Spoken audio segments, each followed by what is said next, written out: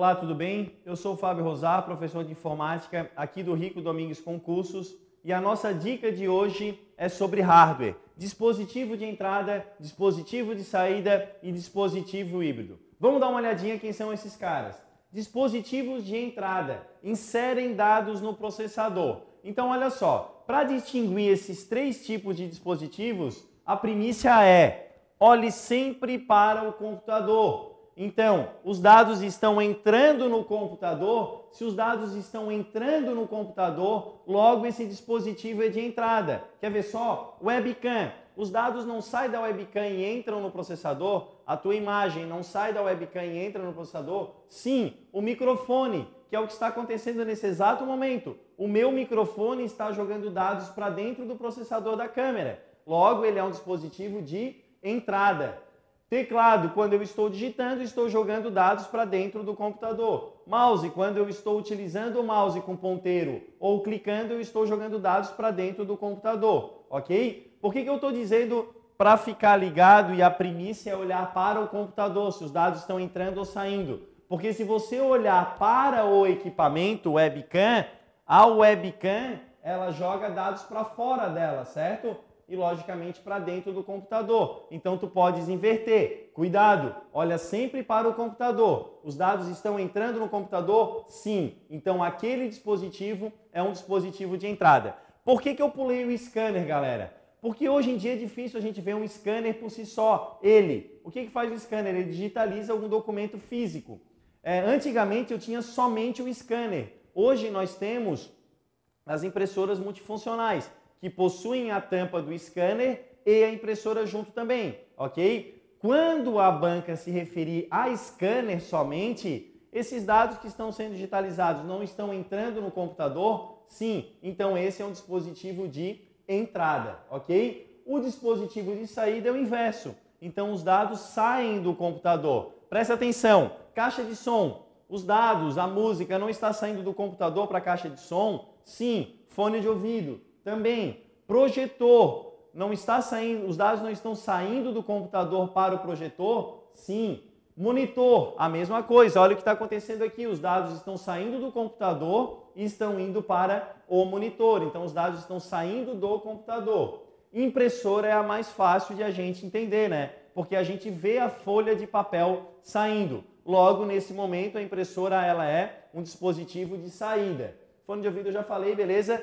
Fica atento então com o scanner e a impressora. Quando a banca falar de forma isolada, o scanner é só dispositivo de entrada e a impressora é só dispositivo de saída. Porque agora eu vou ter os dispositivos híbridos ou dispositivos de entrada e saída, ok? E aí pode aparecer também assim na tua prova, ó, dispositivos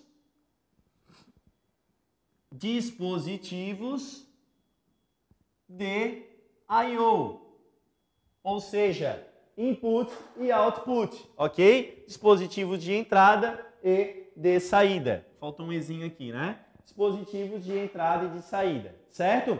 Quando aparecer esses dispositivos híbridos, eles obrigatoriamente têm que fazer é, a função dos outros dois que nós vimos. Então, olha só, memória RAM. Os dados entram na memória e também saem da memória. Então, os dados vêm do processador para a memória e também vão da memória para o processador. CD e DVD.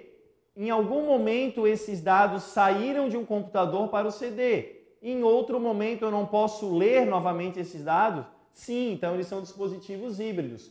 Pendrive. Eu não posso pegar um pendrive, ir na casa do Joãozinho, é, pegar algum material, trazer para o meu computador? Então, presta atenção naquele momento que eu estou na casa do Joãozinho, o pendrive está sendo um dispositivo de saída, porque os dados estão saindo do computador do Joãozinho. Quando eu chego na minha casa e conecto o pendrive no meu computador, nesse momento o pendrive não está sendo um dispositivo de entrada, está jogando dados para dentro do computador, então dispositivo de saída e de entrada, dispositivo híbrido.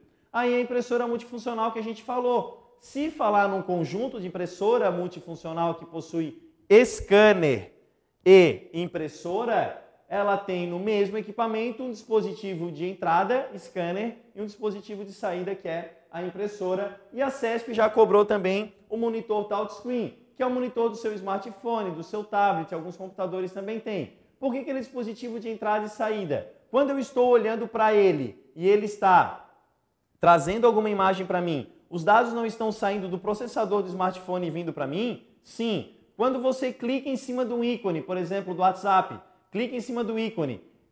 No momento que você clica, esses dados estão entrando no processador. Você diz assim: "Ei, processador, abre o WhatsApp para mim". Percebeu que eu coloquei dados para dentro do processador e o processador devolve. Tá aqui, Fábio, o WhatsApp e demonstra na tela para ti, ok? Cuidado, eles podem ser cobrados de forma isolada. Memória é dispositivo de entrada? É. É dispositivo de saída? É. É dispositivo híbrido? É. Agora, um cuidado maior ainda. Memória é somente de entrada? Não. Mas eu posso dizer que ela é um dispositivo de entrada também, certo? Mas somente eu não posso usar. Ok, galera? Bons estudos aí, continue nos acompanhando na rede social, chama os teus amigos aí, se você gostou, para acompanhar as videodicas. E a gente está aqui é, para auxiliar e para é, te passar alguns bizus, algumas dicas para concurso público, ok? Fica com Deus, um abraço e bons estudos.